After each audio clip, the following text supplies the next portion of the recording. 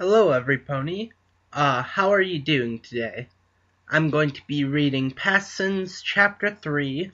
Sorry about, like, leaving you guys hanging for, like, what was it? One month? Two months now? Or so? For a while, let's just say that. Well, yeah, I'm sorry I've been busy, uh, sick, and been procrastinating. I'm straight up saying I procrastinated, but I was really sick and busy and stuff. So, anyways, shall we begin?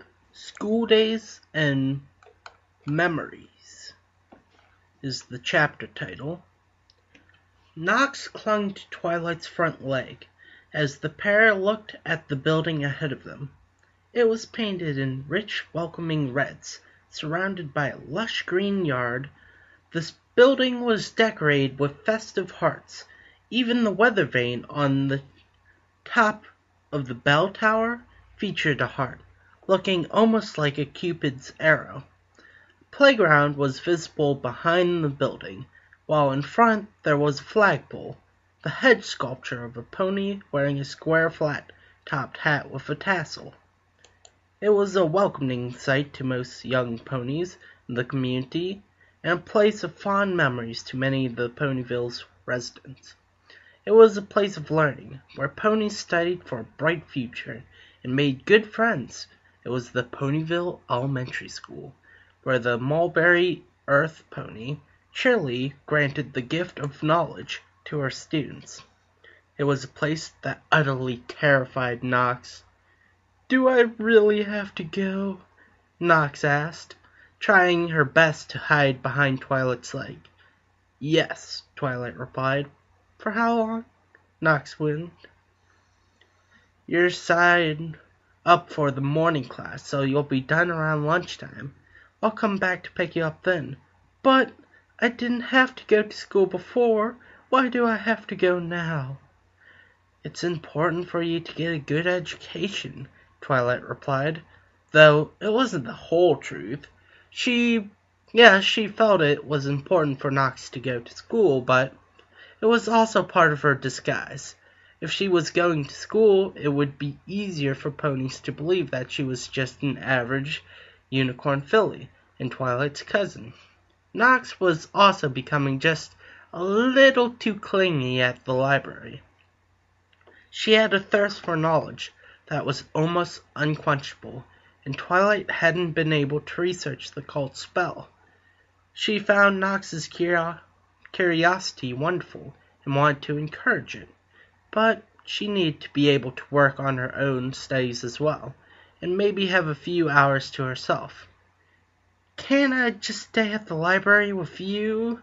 Knox pleaded. The whole point of school is to learn new things, Twilight replied. You've been learning everything you can from me and Rarity, and you've been having a lot of fun. Now you're just going to be learning from Cheerilee with the other fillies and colts instead. But I know you and your friends, and I don't know Cheerilee. What if she's mean? Twilight chuckled, a little at Knox's fear. Don't worry, Cheerilee's very nice. Just pay attention in class and remember to follow the rules.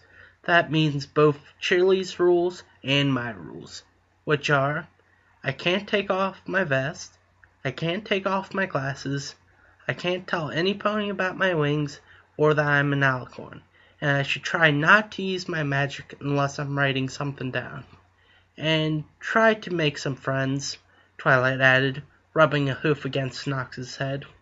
With a yelp and a giggle, Knox battered at Twilight's hoof, hoof before she escaped from the playful Noogie.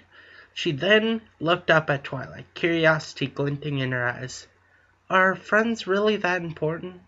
Trust me, nothing is more important than having a good friend than having good friends, Twilight said taking a step forward as the school bell began to ring. Now, come on. If we keep standing here, you're going to be late. Good morning, class, Cheerilee greeted in a sing-song voice as she stood at the front of the room. Good morning, Cheerilee, Good morning, Cheerly. Good morning, Cheerly. Good morning, Cheerly. Or something of that nature, because I can't do multiple voices. At least not that well. The class echoed back. Some honestly, others just to please the teacher. Now, before we get started, I have a small announcement. We have a new student joining us today. Her name is Knox, Cheerly said, motioning to the filly standing next to her. I expect you all to welcome her as you would any new student. Yes, Cheerly, the class chimed back. Cheerly gave a pleased nod before turning to look at Knox. Good. Now go ahead and find a seat. You can take any open desk you like. Knox nodded gently as she looked out across the sixteen desks.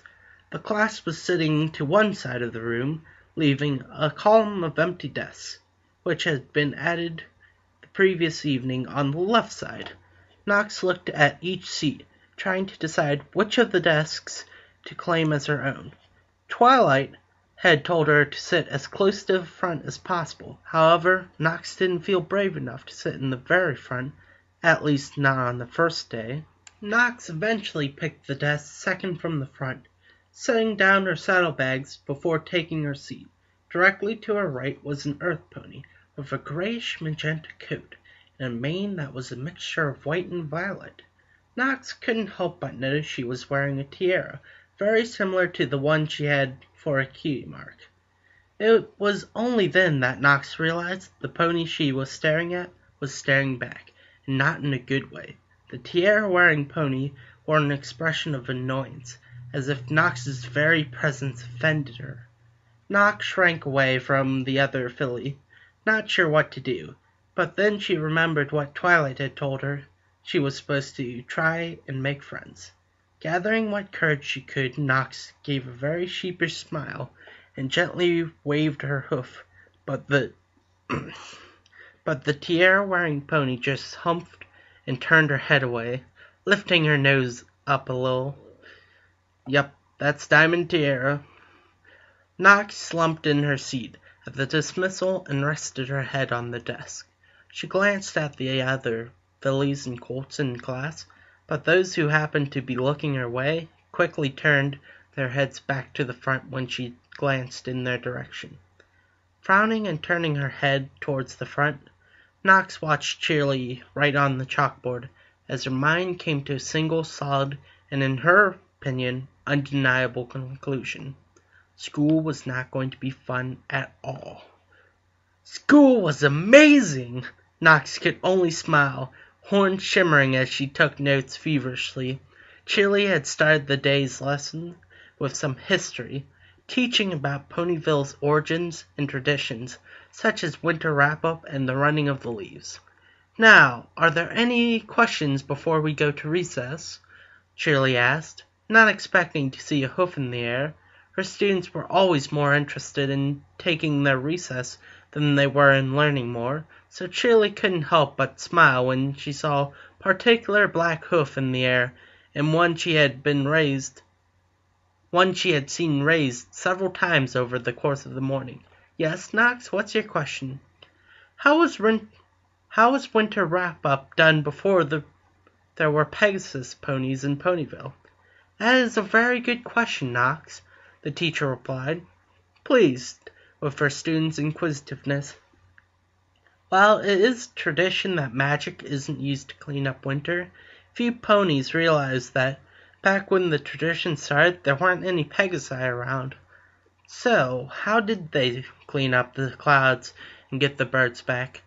Well, if you don't mind getting to recess a little later than usual, I can tell you that originally the earth ponies in town and Cheerilee was off going a little deeper into her lecture than she had intended.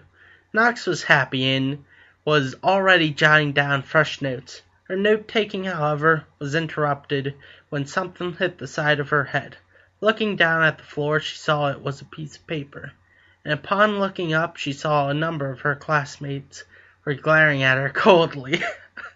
uh, under the unforgiving glares of classmates, Knox could only sink into her desk and whimper a little. She didn't know what she had done wrong. She had just asked a question. She was just curious. For me, it's actually kind of the opposite. Like, I ask a lot of questions and stuff, and, well, actually, I don't ask that many, but I do most of the question answering when the teacher asks questions. So, I've actually been told by a teacher before stop, like, just shooting your hand up instantly when you know the answer. Let people, like, actually think about it before you answer it. uh, so, yeah, I have the tendency to avoid uh, trying to answer questions right off the bat. Anyways, boy, am I. Uh, boy, am I glad to get outside. That was a terrible Apple Bloom voice, but. Boy, am I. Wow, that sounds weird. Anywho, I'll just continue. Apple Bloom said about 15 minutes later, when Cheerilee had finished talking about how Earth Ponies cleared the clouds. I was worried we wouldn't get to recess because of that question the new filly asked, but it was pretty cool hearing how Earth Ponies were able to clear the skies and bring back the southern birds before there were Pegasi in town. Twist argued as she and Apple Bloom walked down the outside steps of the schoolhouse, heading into the playground area. Yeah, it was cool, but I still rather have had recess. So what do you want to do? Twist pointed her hoof at the school's small sports field, where several of their classmates were starting to kick a ball around. We could go play hoofball with Scootaloo and Sweetie Belle. Apple Bloom scrunched her nose up for a few minutes, but then shook her head. No, we played that all last week. You want to take turns on the swing then? Twist asked, pointing at the swing in question. Now that sounds like a good idea, Apple Bloom replied as the pair began to trot towards the playground equipment. Twist arrived first and jumped onto the wooden swing set. Probably would do better if it was marked like but anyways, Apple Bloom stood back to wait her turn. She watched Twist swing higher and higher, her own smile growing as Twist reached impressive heights. It wasn't the highest Apple Bloom had seen some pony reach on the swing, but it was still respectable. Hey! Twist called just before she reached the top of one of her forward swings. What is it? Apple Bloom shouted back.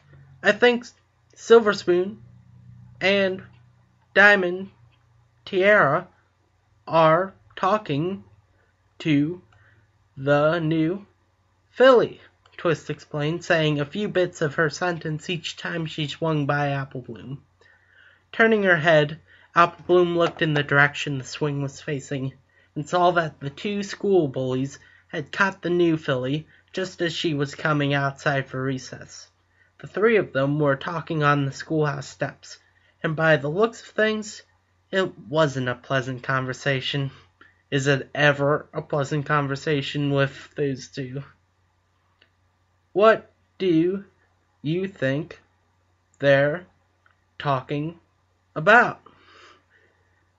Nothing good if I know those two, Apple Bloom said before she took a step in that direction. Twist, you stay here a sec. I'll be right back. Okay, Twist called out as she continued to swing, though she kept watch as her friend crossed the playground and drew closer to where Diamond Tiara, Silver Spoon, and the new filly were standing. So, like we don't appreciate nerds, like you making us almost miss recess, that class is already so boring without you asking a bunch of questions. We get enough of that from Twist, don't we, Diamond Tiara? Yes, we do, Silver Spoon, but at least Twist is bearable. She also doesn't have an ugly coat like yours. Knox cringed and lowered her head as her ears flattened against her skull. She had been the last to get out of the schoolhouse for recess mostly because she had to stop and ask Cheerilee what recess was, Cheerilee had been more than happy to answer, though Knox hadn't been thrilled by the idea of having to go and play with the classmates she had just made angry. Her fears had then only been confirmed when the filly she sat next to in class and another filly, one with a gray coat and the spoon cutie mark, caught her within a few seconds of her stepping outside. Uh, ugly? was all she was able to stammer out under the ver- filly's verbal be- assaults. Or singular, verbal assault. Or, yeah, ugly, Diamond Tiara sneered. It's the absolute worst color. I would just die if I had a black coat. Silver Spoon nodded her head in agreement, scrunching up her nose in disgust. Me too. Not only is black like so ugly, but it's creepy too. Only things like spiders, bats, and ticks are supposed to be black. She probably actually likes bugs, Diamond Tiara added. Why, I bet she's covered in ticks this very moment. Ew, Silver Spoon said, while sticking out her tongue. She and Diamond Tiara then began to smile devilishly as they chanted in union. Knox has ticks, Knox has ticks, Knox has ticks. I think they actually, uh, probably meant for it to be pronounced Nix, because that would have the rhyme Nix has ticks. But, and that's how it's spelled, but according to Wikipedia and my own research, it's pronounced Knox. So I'm sticking with Knox, even though Nix rhymes with ticks. I I do not. Nick Knox whimpered in an attempt to defend herself, but Diamond Tiara and Silver Spoon's onslaught of chanting continued. Tears started to flow from her eyes, and the sight of her crying only fueled the sadistic mood of the two class bullies. "Oh, look, she's crying!" Diamond Tiara mocked with a fake sympathy. "I didn't realize they let little fools come to school. Or maybe that's your lame special talent crying." "What special talent? She doesn't even have a cutie mark," Silver Spoon noted, pointing to Knox's blank flanks.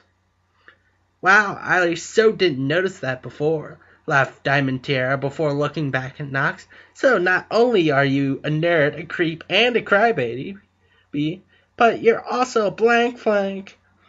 You're like the biggest loser in the whole school. More like the biggest loser in Ponyville," Silver Spoon corrected, which only made Knox cry harder. However, before the two fillies could continue to taunt, tease, and torment Knox, Diamond Tiara was shoved from the side. The sudden push sent her off balance, and both she and her namesake Tiara fell into the dirt. "Oh my gosh, Tiara!" Silver Spoon exclaimed, as she looked to where Diamond Tiara had been standing moments before. A furious looking Apple Bloom was now standing in Diamond's place, and she was glaring down at the two schoolyard bullies. Like, you're going to be in so much trouble now, Apple Bloom. Cheerilee says no fighting in school. Silver Spoon snapped at Apple Bloom. She helped Diamond Tiara off the ground. I'm going to tell Cheerilee. Fine, go ahead, Apple Bloom snapped back. She didn't falter, even at the mention of her teacher's name. If you do that, then I'll tell her you were being mean. And you think she'll believe you? Diamond Tiara asked, once she had gotten back up on her hooves. Apple Bloom nodded, her head firmly.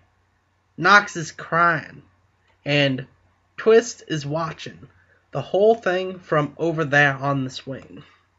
Is not, Diamond Tiara protested. Apple Bloom, however, just smirked and pointed a hoof behind her, where Twist, while still on the swings, was in fact watching what she was what was going on. Silver Spoon grabbed Diamond Tiara's tiara and did her best to wipe the dirt off the treasured crown before giving it back to Diamond. Come on, this is like not worth our time getting in trouble for. Hm, fine. You win this round, blank flank. Have fun with your new friend and all of her ticks, Diamond Tiara sneered before turning away. Let's get out of here, Silver Spoon. Silver Spoon stuck her tongue out at Apple Bloom as a final parting shot before she and Diamond Tiara retreated. Apple Bloom watched the pair leave, and only when she was sure they were out of earshot did the huff and scrape. Wait. Did oh, did she huff and scrape the ground with her hoof? Some day I like to buck some sense into those two, just like my big sister would. She may have gotten in trouble at school, but you can bet your man she never got teased by the little likes of them. Apple Bloom finally lowered her guard. She blew a tuft of her mane out of her face and turned to look at Knox. You okay? Knox, who had watched the exchange between Apple Bloom, Diamond Tiara, and Silver Spoon, nodded her head as she pulled herself up. She closed her eyes carefully removed her glasses, and used a hoof to rub away the tears on her cheeks. She did not open her eyes again until her glasses were back where they belonged, perched squarely on her nose. Why are those two so mean? sniffled Knox. Personally, I think it's their special talents, and that they should have a bully cutie mark. But I guess it's kind of like having a special talent for arguing. There just isn't a cutie mark that really makes sense for being a bully. I'm Apple Bloom, by the way, the yellow filly said before she stuck out a hoof. Knox looked at the hoof for a bit, cautious of the kindness she was being shown after Diamond Tiara and Silver Spoon's cruelty. Still, she eventually managed a weak smile as she reached out and gently shook it. I am Knox. Well, howdy, Twilight. What brings you around here, these here parts? Applejack greeted as she caught up to Twilight Sparkle, who was walking down an earthen path in Ponyville. Oh, hey, Applejack. I'm just on my way to the schoolhouse, Twilight replied. Well, that's just where I've been heading, Applejack said as she began to walk with Twilight. I'm picking up Apple Bloom from school today. Need her help running some errands in town. What about yourself? I'm picking up Knox. Knox? That cousin of yours? Applejack asked, surprised. Since when did that little filly start going to school? Today was her first day, actually. Applejack whistled. The first one sounded kind of weird. Before glancing in Twilight's direction, First day of school is never easy, especially when you just moved to a new place. Yeah, I remember the first day I transferred from my old school to Celestia's School for Gifted Unicorns, Twilight reminisced. It was scary, but I really didn't have to deal with a lot of other students, being Princess Celestia's private pupil and all.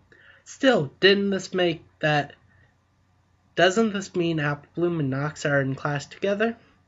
Yep, right along with Sweetie Belle and Scootaloo. You think they're mad? Applejack asked. that just sounded weird.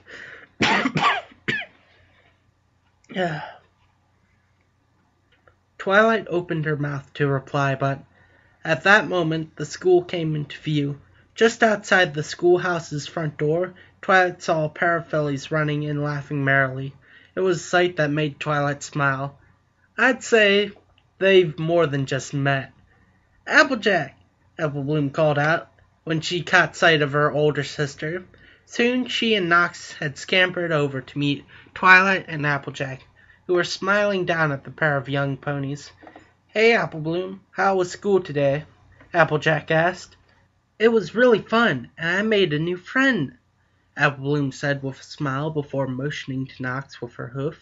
Applejack, this is Knox. Knox, this is my big sister Applejack. Apple Bloom put on a big smile and looked back at Knox. She expected to see a similar expression, but instead found only confusion. Wait, your big sister is Applejack? You already knowed my big sister?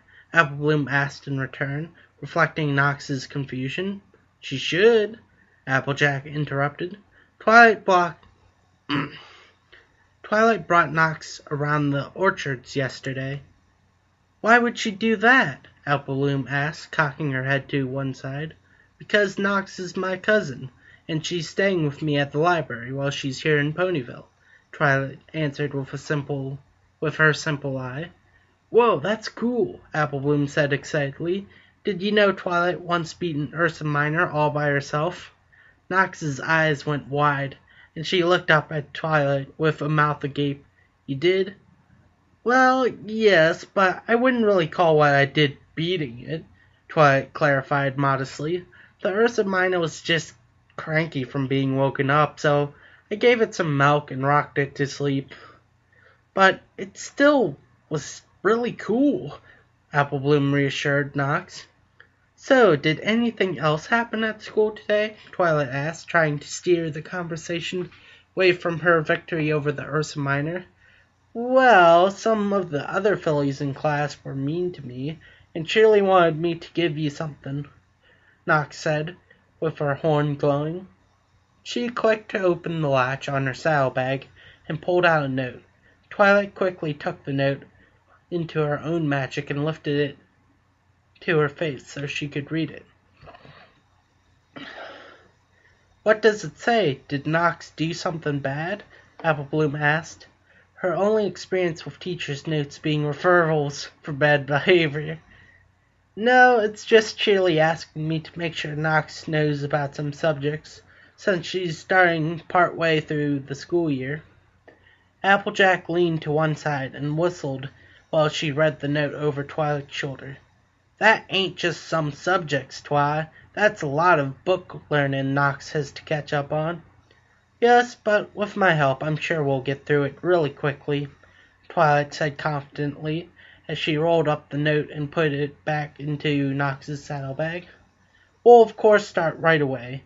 We could probably get through basic mathematics this afternoon if we really hit it hard. Aw, Apple Bloom muttered in disappointment. What's the matter, Sugar Cube? I wanted to ask Knox if she wanted to join the Cutie Mark Crusaders. I'm meeting Scootaloo and Sweetie Belle this afternoon, so we can try and find her cutie marks. Knox doesn't have hers either, so I thought she might like to come along. Well, how about you let Knox go get some learning done? What? let me try again. Well, how about you let Knox get some learning done with Twilight, and then you and her, your friends, can go find her and.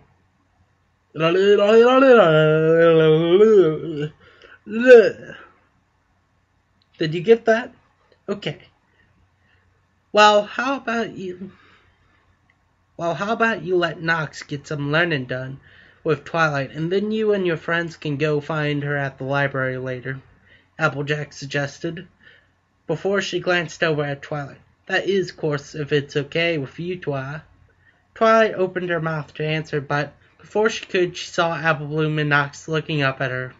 The pair of them were putting on their biggest, most pleading puppy dog eyes and smiles they could muster, and Twilight couldn't help but giggle. She nodded, causing a pair of cheers to erupt from the two young fillies. Diamond Tiara groaned as she dropped her face into her open books. She glared Claude.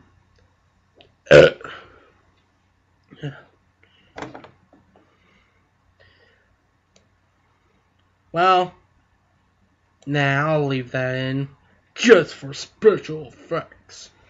But yeah, that's kind of why I was stumbling there, is because I had a burp. Should have just burped it. Uh, Diamond Tiara groaned as she dropped her face into her open book. She glared coldly at the letters on the page, even though she'd rather be focusing on her glare on her newest classmate. Knox had just asked another question right now before recess, and now Cheerilee was continuing to lecture past class time. Thankfully, the answer to Knox's question was short, and the fillies and colts of the school were soon free.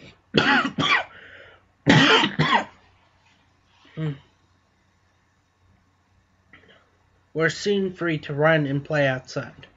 Knox rushed out with Apple Bloom and Twist, and the three ran to meet Sweetie Belle and Scootaloo near, near some of her school playground equipment.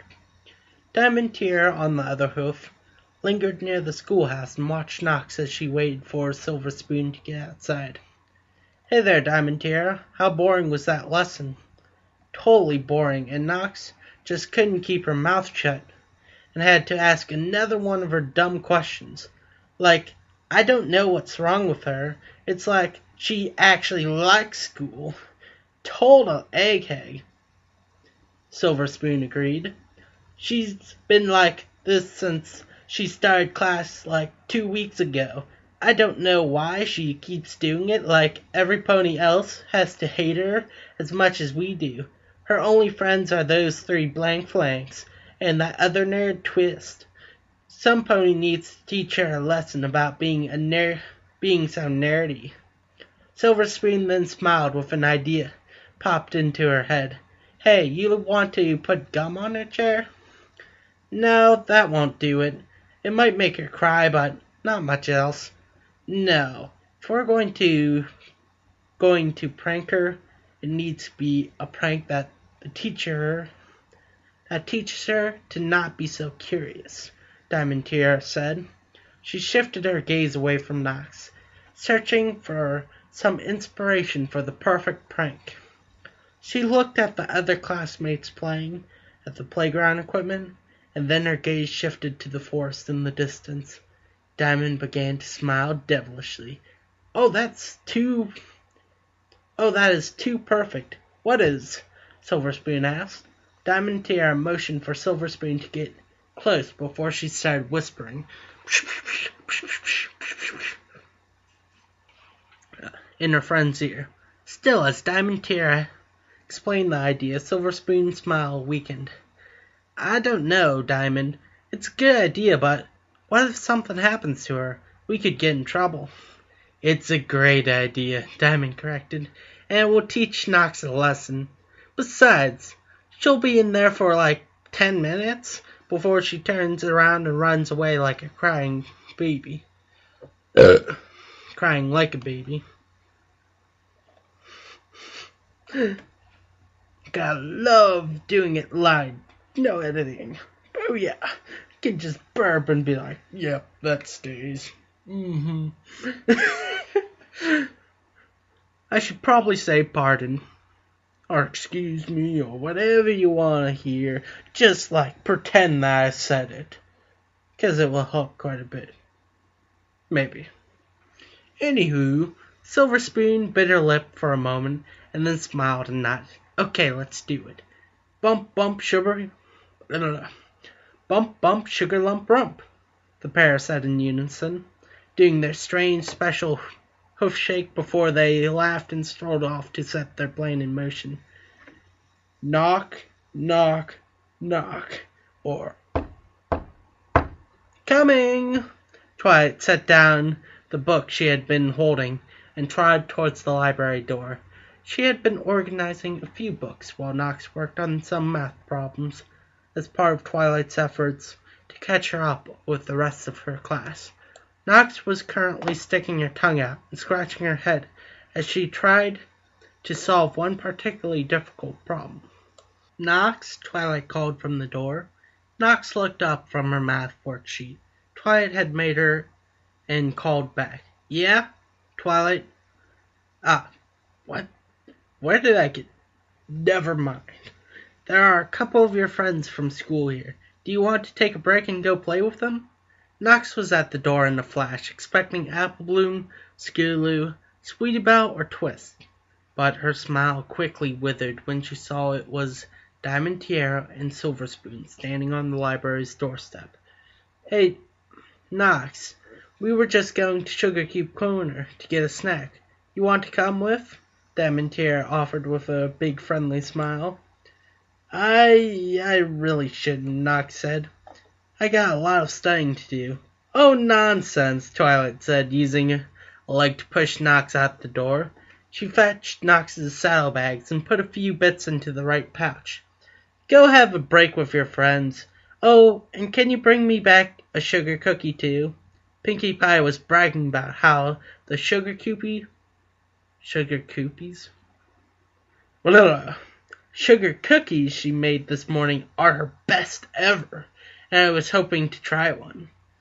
But, but, Knox stammered, but before she could say anything else, she was outside and the door to the library had been shut behind her.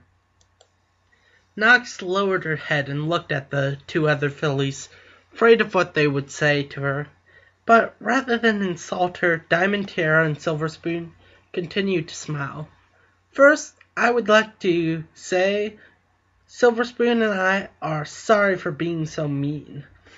Knox raised her head and made no effort to hide the expression of confusion and surprise that formed on her face. You you do? Diamond Tiara nodded and motioned with a hoof. The trio began to walk down the street in the direction of Sugarcube Corner, while they continued to talk. Yeah, like, we thought about what we did, and we're so sorry we did it. It's not easy being the new kid in town, and it was wrong of us to mean to be mean to you like that. Oh, um, that's okay. I forgive you. Knox said with a weak smile as she walked between Diamond and Silver Spoon. You two did say a lot of mean things, though. We know, and we feel really bad, but like, we got to make such new ponies. Sure, the new ponies in town are cool, Silver Spoon said, as if judging a pony's coolness was their job. So, all that was a test? Yes assured Diamond. And you passed. Congratulations. But how is saying I have ticks a test? Knox asked, focusing her questioning gaze on Diamond. There was a moment of pause from Diamond, who smiled weakly while she glanced anxiously at Silver Spoon. Like, uh, Silver Spoon interrupted. We wanted to make sure you actually cared about being covered in ticks. That way we would know whether or not you cared about being clean. Well, of course, what kind of pony would actually like being covered in ticks? Knox asked. A pony that's like a real weirdo, Diamond Tiara answered, jumping back into the conversation after Silver Spoon's rescue. And you're obviously not a weirdo because you do care. Still, we are like sorry we made you cry. We just had to be sure you like are a cool pony. And am I a cool pony? Knox asked anxiously. Silver Spoon nodded. Like totally cool. And that's why we like wanted to be friends, like friends with you. Really? Knox asked with a grin. Twilight often spoke of the importance of friendship over the two weeks since Knox had started school and Knox was excited by the prospect of extending her circle of friends. Oh yeah, like we can like be total BFFs, Silver Spoon assured eagerly. What's that? Knox asked as she continued to walk with the other two fillies. BFFs, best friends forever, Diamond Tiara explained. Oh, and just so you like know, black is so totally cool.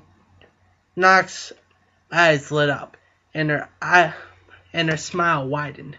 It is like coolest color ever. It makes you unique, even if you don't like have a cutie mark yet. Feel like I have to add like to keep the voice. uh. Silver Spoon assured, totally like cool. Diamond Tiara agreed. Well, thanks. I'm glad we can be friends, Knox said with a wide smile. Diamond Tiara and Silver Spoon smiled as well, but they also winked at each other behind Knox's back and began to snicker. What's so funny? Oh, nothing. Just thinking of a joke Silver Spoon told me, Diamond Tiara assured. Knox, now let's go get those sweets. Really? Knox asked in disbelief. In disbelief uh, really? Knox asked in disbelief as she sat with Silver Spoon and Diamond Tiara just outside Sugarcube Corner. Nox levitated the food to her mouth, doing her best to remember all the lessons on being a proper mare Rarity had taught her as she ate her snack. Uh. Pardon.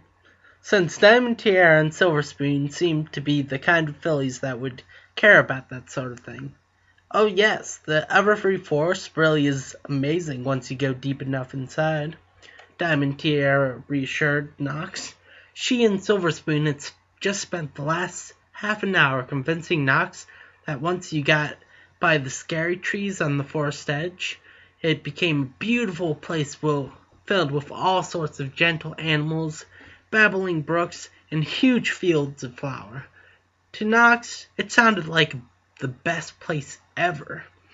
But I've been in the Everfree Forest with Twilight, and I never saw anything like that.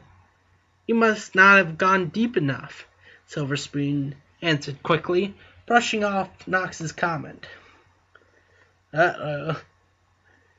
She's been in the Everfree Forest before, as we all know, which means this is going to send her super deep.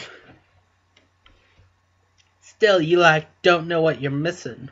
It is like so beautiful, Diamond Tear said before perking up with a smile. Hey, we should all go together. I I don't know, Nox said nervously.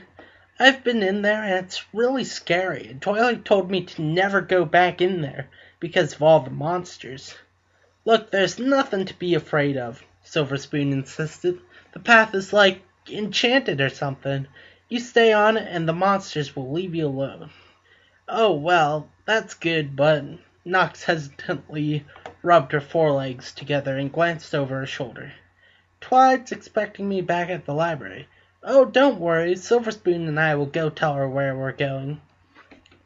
Diamond reached into her saddlebag and pulled out a map, and rolled it flat on the table.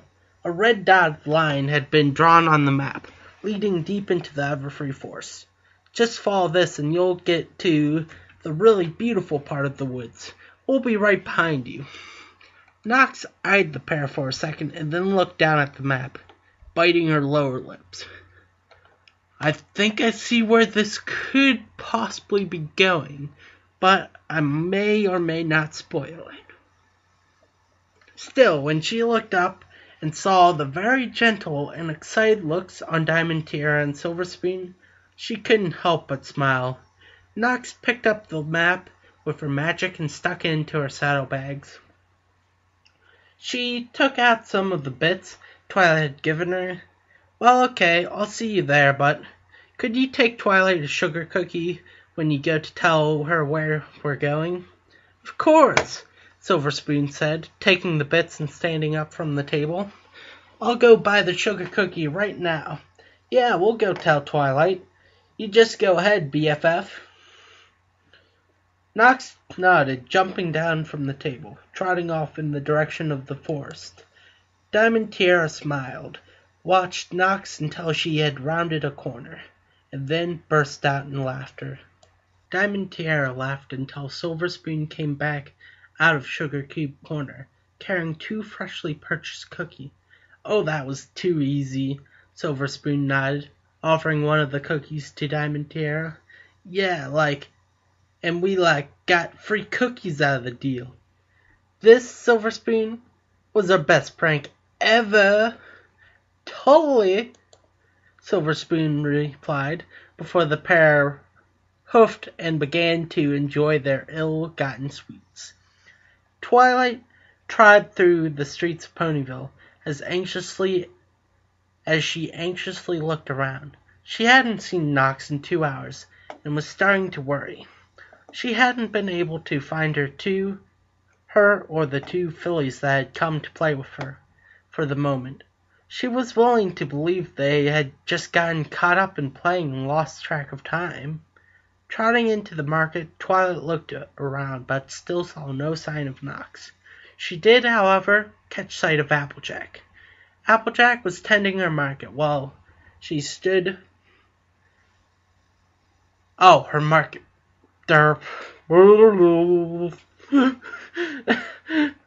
Applejack was tending her market stand, not stood, market stand. uh, while keeping an eye on Apple Bloom, Scootaloo, and Sweetie Belle, who were trying to balance on top of each other a few feet away. Twilight could only guess the trio were making another attempt to get their cutie marks, but she didn't have time to try and figure out what they were doing. Hey, Applejack. Hey there, Sugarcube!" Applejack greeted as Twilight tried up to her market cart. What can I fix you for? Want some Red Delicious Gala? Or maybe some Granny Smith apples? Applejack, you haven't seen Knox, have you? Applejack cocked her head to the side. Knox? Why, no, I haven't. Is she missing? I I don't know, Twilight fretted as she glanced about. Two fillies from her class came to see if she could play. That was hours ago, and I'm starting to worry. Applejack chuckled, her eyes drifting over to Apple Bloom for a moment.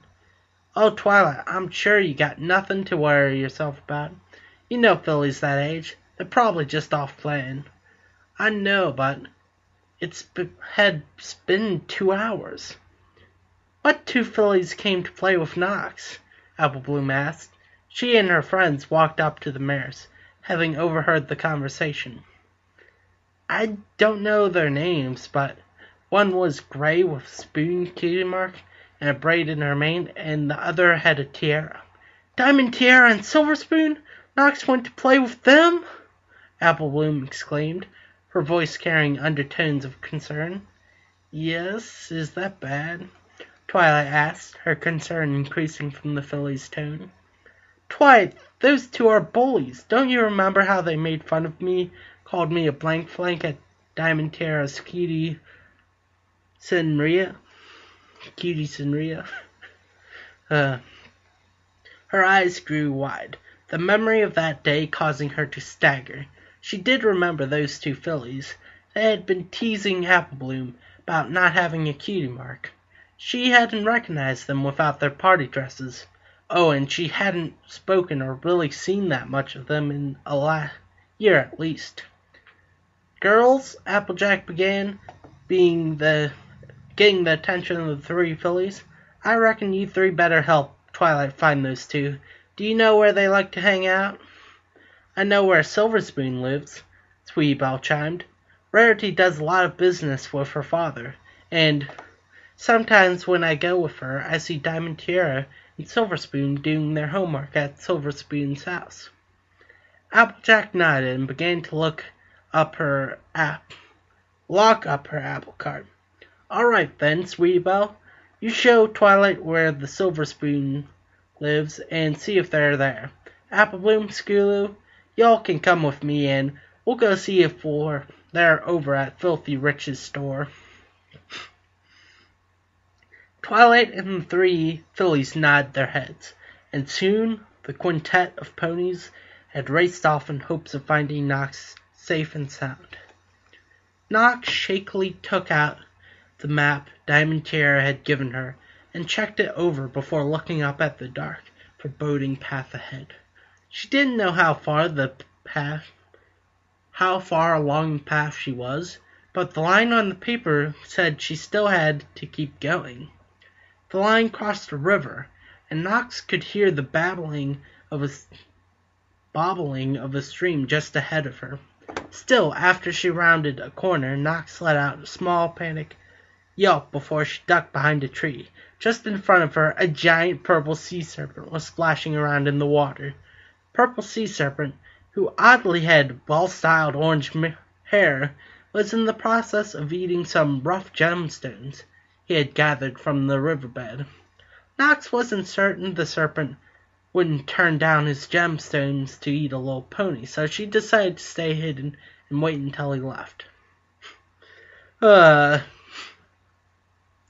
Twilight and Sweetie Belle was unable to find any pony at Sweet Silver Spoon's house and Applejack. Apple Bloom and Scootaloo were really just unsuccess were just as unsuccessful. Wow, I'm really stumbling. Stumble, stumble. Thripping down the hill, yay! yeah. Diamond Tiara, Silver Spoon, and Nox were simply nowhere to be found, and Twilight was officially starting to panic. The search quickly expanded. Applejack and Apple Bloom asked ponies around the market if they had seen the trio of fillies. Sweetie Belle ran to get Rarity, Scootaloo used her scooter to quickly race out of Ponyville to where Rainbow Dash was practicing tricks. That left Twilight to continue to run around Ponyville, trying to find Nox and two fillies she had left and two fillies she had last been seen with.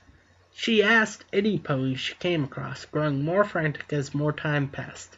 Where were they? Where was Nox?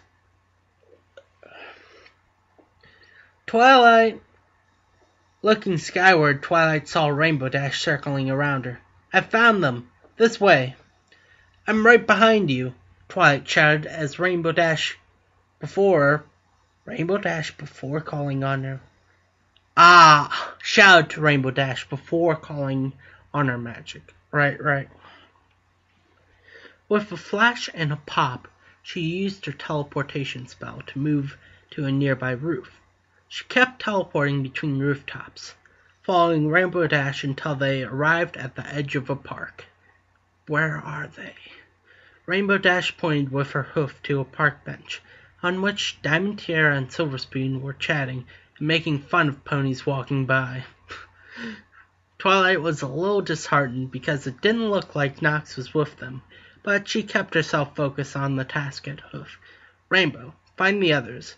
Have them meet in the town square, just in case we have to find Knox, while I see what these two know. You got it. Rainbow Dash assured her before she sped off to gather all the others. Twilight watched her friends leave, and before turning her eyes on the park bench, Sweetie Belle had told her now how mean the two bullies could be while they were looking for them at Silver Spoon's house. She had also been told of how cruel the pair had been to Nox on her first day. She wanted to scream, but Twilight forced herself to smile gently, as the old saying went, "You catch more flies with honey than vinegar." Yep, and it's probably better that you're not like, "Oh, I'll torture the information out of them." Although it would probably do better than just asking sweetly. and it would be more fun for me. Oh, I'm not sadistic at all. Really, I'm not. Okay, maybe a little bit, but yes. Excuse me, Twilight said sweetly to Diamond Tiara and Silver Spoon as she approached the bench. You two wouldn't happen to know. Diamond Tiara glanced over at Twilight Sparkle like she was regarding an ant before she turned back to Silver Spoon and began to speak as if Twilight wasn't there. Oh, look, Silver Spoon. It's the town librarian. What, trying to find ponies that have overdue books? No, actually, Twilight said sweetly, though she was struggling to maintain her kind demeanor. I was wondering if you two know where Nox is. The last I saw her, she was going with you two to Sugarcube Corner, and I haven't seen her for a few hours. Wait, she isn't. Silver Spoon tried to ask, only to yelp and promptly fall silent when Diamond Tiara stepped on her hoof. Diamond Tiara looked back at Twilight with a sympathetic grin. Nox? We don't know any Nox, do we, Silver Spoon? Silver Spoon continued to rub her hoof, but shook her head. No, it doesn't ring a bell. Twilight chuckled under her breath.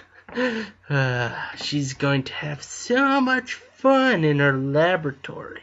I mean, it was the kind of chuckle some pony made when they were doing their very best to keep their anger in check. Now, girls, we all know that isn't true. You came to the library earlier to play with Knox, my cousin. You know she has a black coat and wears a vest. Sounds like a real nerd to me, Diamond Tiara commented. And we never hang out with ugly nerds, do we, Silver Spoon? Silver Spoon laughed weakly, withering under Twilight's intense glare. No, we don't. Now, girls, Twilight said through gritted teeth, I know you. Diamond Tiara leapt down from the park bench and turned her nose up away from Twilight. Come on, Silver Spoon, let's uh, get out of here before she uh like tries to make us read a book or something. Uh, Diamond? Silver Spoon stammered as she pointed a hoof at Twilight. Diamond Tiara turned her head back, confused as to why her friend was suddenly scared. Fear quickly sprang up in her own chest when her eyes fell on Twilight. While reports of such things are rare, some books have recorded of expe- exceptionality magically inclined unicorns performing something called a rage shift. Twilight had studied it closely, especially after going through her own rage shift for the first time when she was trying to understand Pinkie Pie's Sixth Sense. The book she had read said that the shift occurs when a unicorn's anger feeds into the magic to cause a physical change to the unicorn's body. And in that moment Twilight had rage shifted for the second time in her life, with her mane and tail set ablaze by her magic, with her eyes a burning red, and with her coat a bright, angry white.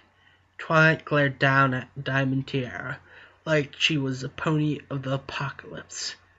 Thus Twilight evolved. Unless you want to turn unless you want me to turn you two into cacti, you will tell me where Nox is right now. She's in the Everfree Forest.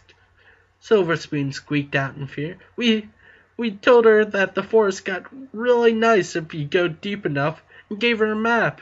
She left from Sugar Cube Corner and that's the last we saw of her. Twilight's rage shift ended.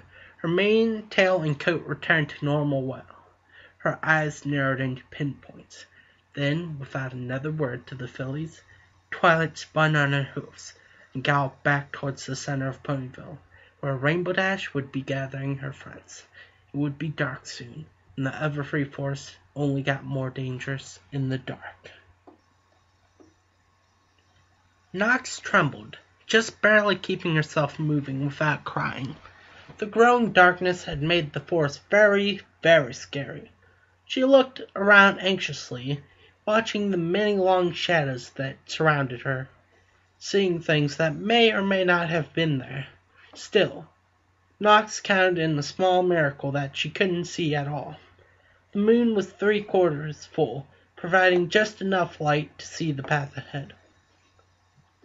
Oh, that she could see at all. Whoop, whoop. But yeah, I just thought of something. She just passed the river with the purple sea dragon, who's very gentlemanly like, and yeah.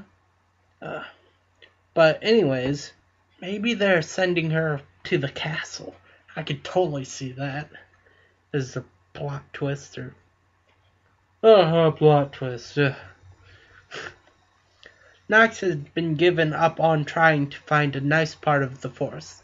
Now all she wanted to do was get back to Ponyville. But she had lost her map.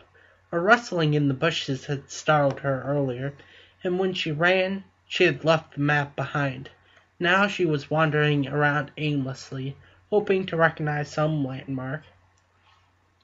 She tried to follow familiar paths, ones she thought she had traversed before, but she hadn't crossed the river again.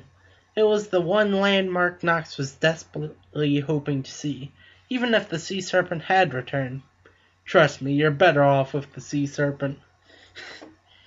Following a bend in the path, Knox came to a stop.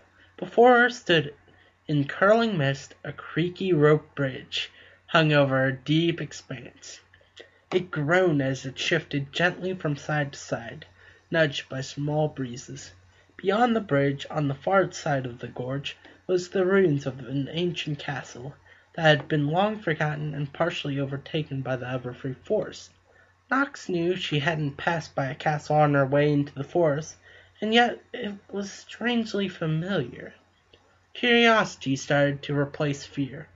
Knox carefully stepped out onto the bridge. Thankfully, none of the wooden planks gave way under the weight of her small body.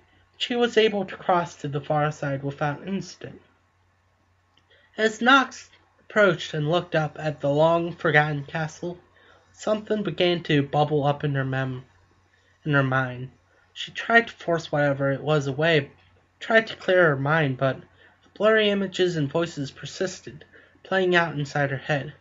Oh, my beloved subjects, it's been so long since I've seen your precious little sun-loving faces. What did you do with our princess? Whoa, Nelly there. Whoa there, Nelly. Why, am I not royal enough for you? Don't you know who I am? Oh, oh, more guessing games. Uh, Hokey Smokey. How about Queenie, Queen Meanie? No, Black Snooty, Black Snooty. Does my crown no longer count now that I have been in prison for a thousand years? Did you not recall the legend? Did you not see the signs? I did, and I know who you are. You're the Mare in the Moon, Nightmare Moon. Well, well, well, some pony who remembers me. Then you also know why I'm here. You're here to, to, remember this day, little ponies, for it was your last. From this mo- moment forward, moment forth, the night will last forever.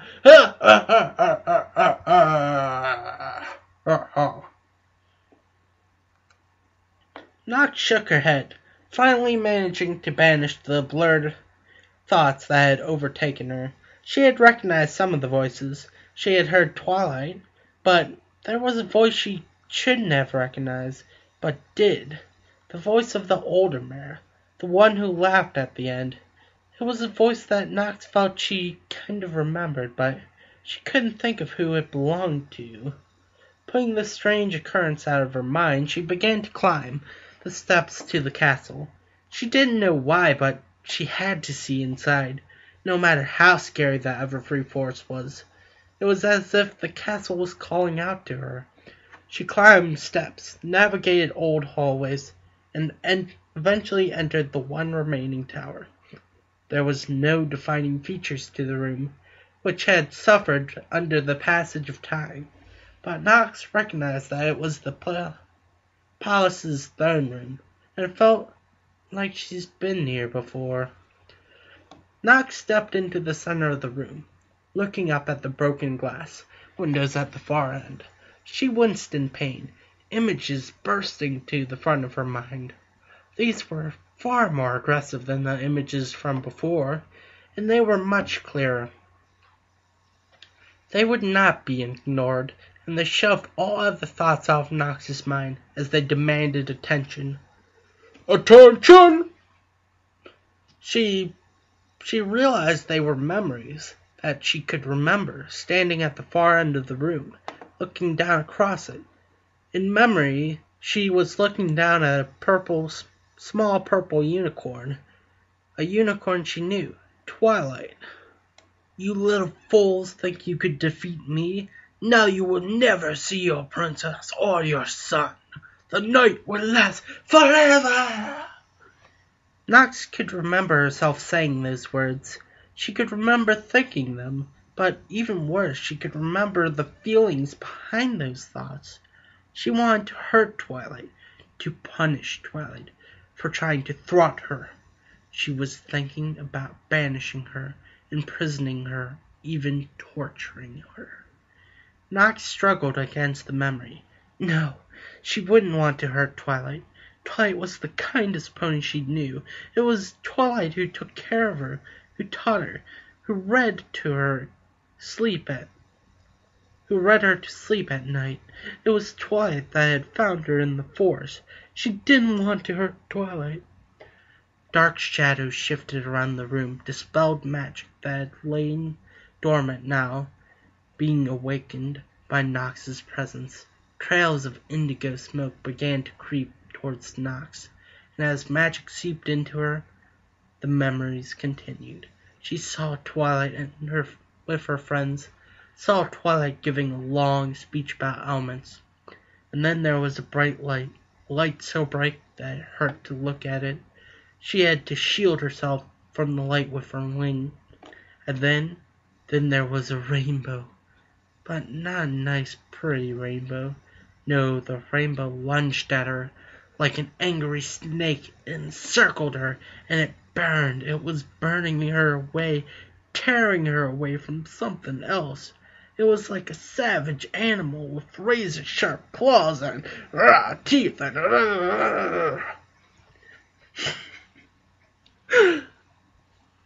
It tore her to ribbons despite her cries.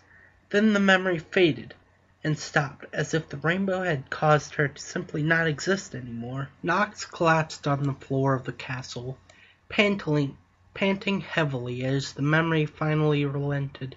Despite the cool feeling of the castle's stone floor, she could still feel the burning pain of the rainbow, how it had cut and torn at her.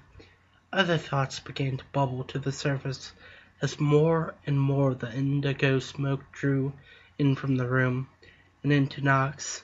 The thoughts were desires, hateful desires, desires to hurt ponies, to make them pay for ignoring her, memories of being scorned and ignored, memories of jealousy and anguish. Among these thoughts, a few began to stand out and mingle with Nox's memories of her friends in Twilight. They began to poison those memories, filling them with hatred. They, she wanted to hurt Twilight. She wanted to make her suffer, to torture her. These were thoughts that Nox didn't want to have.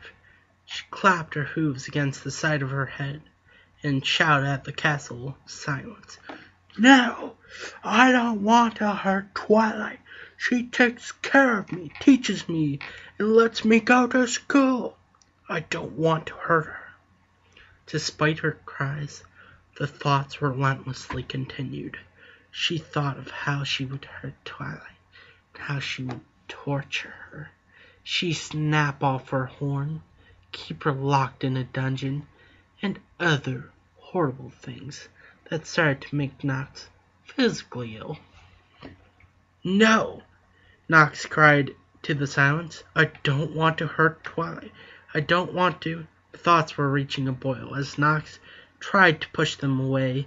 More rose in their place. Thoughts of how she'd hurt Twilight's friends, how she'd go after Twilight's family. She just kept thinking of all the ways she could break Twilight's spirit. No, no, no, no! With the final scream, something sparked to life inside Knox, and her eyes glowed white. The creeping tendrils of indigo smoke suddenly shifted, swirling faster and faster as they were sucked down into her like water in a whirlpool. Whoa, she's absorbing all the evil energy and making it a part of her. At the same time, the dark desires in her mind began to fade, ebbing away as more and more of the smoky tendrils were absorbed. Then, when the last traces of the smoke were traces of the cloud were gone, Nox's horn sparked and sent a crack of lightning lancing up into the sky with a thunderous boom. Not going to make me do the thunder sound? Celestia bolted in bed and turned her eyes to her window, though through which she could see Ponyville and the Everfree Forest. Her breathing was still, and her ears turned forward in erect attention like a pony hearing an unexplained thump in her home at night. For a moment Celestia had felt something in Equestria that did not belong. She stretched out her magic senses, trying to find the presence she had detected, but it was already gone. It had felt like no, that wasn't possible.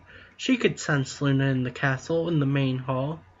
Yet Celestia could not get over what she had felt. It was short lived, but she had sensed her presence, presence she hoped to never sense again.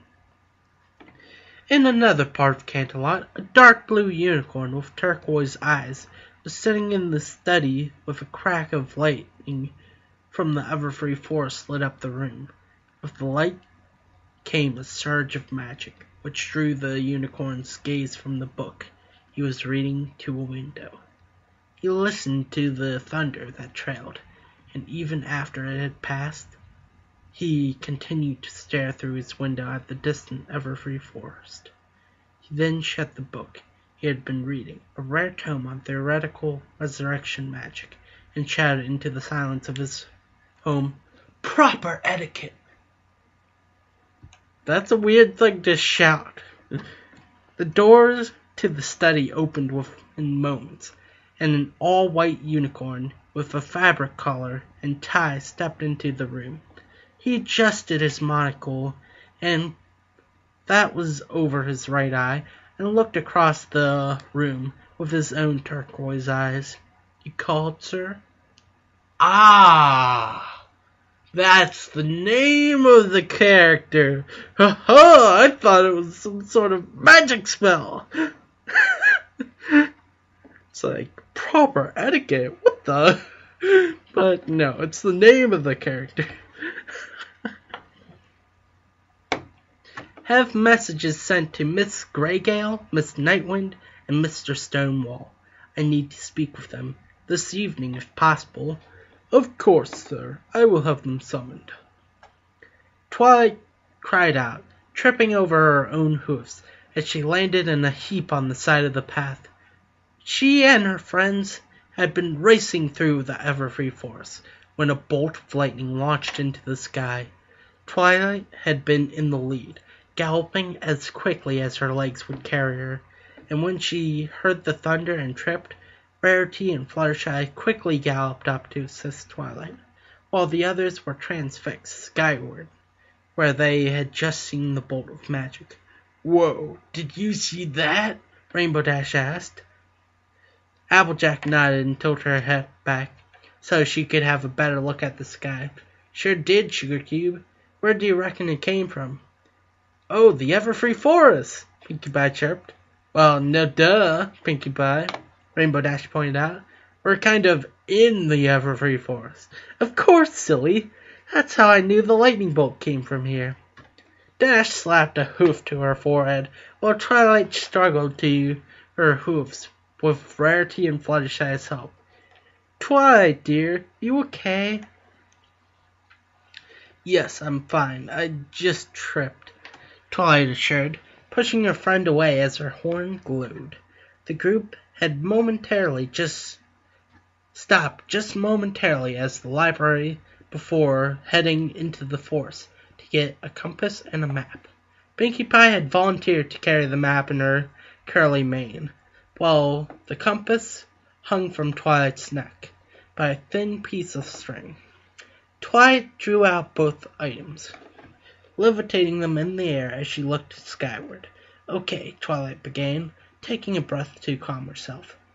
Where was that lightning bolt again? Right over there, Pinkie Pie answered, pointing at the sky with her hooves. Twilight quickly positioned herself by Pinkie Pie, holding up the compass as she turned the map over in the air. Okay, using the mountains as a reference, we're about here. Now, if we're here and the lightning bolt was there, and how long would you say it was between the lightning flash and thunder? A second, maybe two tops, Rainbow Dash answered. Of course, Rainbow Dash, she knows the most about weather and would actually count that. Besides Twilight, of course. Twilight nodded and, making very rough calculations in her head, began to move her hoof across the map. All right, then. The lightning came from. Twilight fell silent staring at the map. She double checked her rough measures and guesses, but in the pit of her stomach she knew she was right. I I know where Knox is, Twilight said, dropping the map and compass in the mud. I need to get to her right now. But Sugar Cube, how do you Applejack began to ask, only to be cut off as a bright light enveloped Twilight as she teleported away.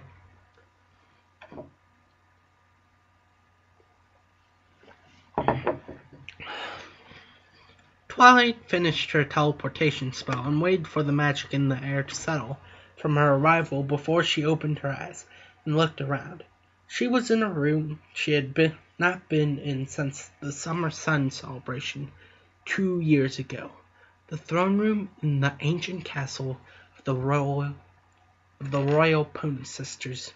It was where she and her friends had defeated Nightmare Moon. Uh, yes, perfectly timed, Bert. Hurrah! Not really. Anywho, where she and her friend, friends, uh, had defeated Nightmare Moon, and the room was just as Twilight remembered it, except for a single small detail. Nox was lying in the center of the room, and for a moment a wave of relief began to wash over her. That relief, however, receded like the tide from the shore, and was quickly replaced by a powerful, gripping fear that threatened to squeeze the very air from her chest. Nox's normal mane and tail had been replaced with flowing masses of star-dyed magic. Nox was a truly Nightmare Moon's doppelganger. All she lacked was the armor, the eye shading, and Nightmare Moon's cutie mark. This, this was Twilight's fear made real. With the mane, with that mane and tail, could she deny the truth any longer? Could she honestly believe that the cultist spell had not accomplished its intended purpose? Nox was young, but there was no denying that she was crying. Knox's wails filled Twilight's ears, derailing her train of thought. She was bawling her eyes out, and Twilight had to catch herself.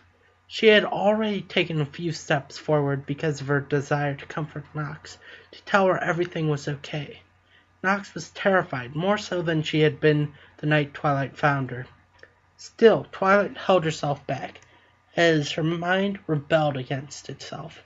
She couldn't dismiss Knox's resemblance to Nightmare Moon, especially now that Knox had the mane and tail the Moon was infamous for. Yet, would Nightmare Moon be crying like that? Would she be wailing so loudly? Unable to bear any more, Twilight inched towards Nox.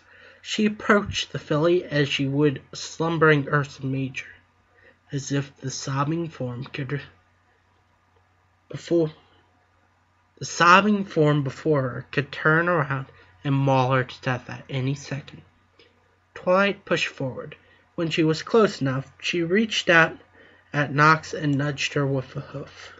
Nox spun her head around at the touch a frightened look in her eyes. That fear, however, died almost immediately when she saw Twilight. She scrambled to her hoofs and buried her head in Twilight's chest, bawling, I'm sorry. Shh, it's okay, it's okay, Twilight reassured cautiously, wrapping her hooves around Nox's trembling form. I'm sorry, I'm sorry. Please don't hate me. Please, I don't want to hurt you. Nox wailed into Twilight's chest her voice muffled. Twilight's heart skipped a beat, but she fought the urge to pull away. Hurt me? When did you want to? I I don't know, Nox sobbed miserably. I came in here and then and then I remember looking down on you. We were both here and you looked so scared I was happy to see you were scared and and I wanted to hurt you because you tried to stop me from doing something. But I don't want to hurt you. Twilight, please, please don't hate me. I don't want to hurt you. Twilight felt a tension in her chest, physical manifestation of her inner conflict. Nox wasn't crying because she was scared of the castle or the forest. She was crying because she felt she had done something horrible, and she was apologizing for it. Apologizing for things Nightmare Moon had done, had thought, had felt. It worried Twilight because if Knox had Nightmare Moon's memories, it was almost conclusive evidence that the two were one and the same.